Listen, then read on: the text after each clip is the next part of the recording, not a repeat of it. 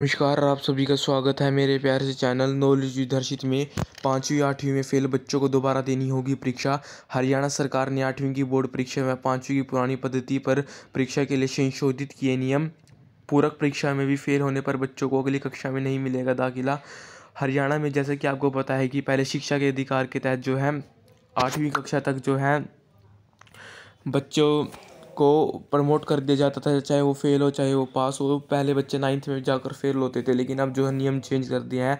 अब हरियाणा में पाँचवीं और आठवीं परीक्षा पुरानी पद्धति पर होगी। आठवीं का बोर्ड होगा, जबकि पाँचवीं की परीक्षा स्कूल शिक्षा बोर्ड के प्रश्न पत्र के आधार पर स्कूल लेंगे।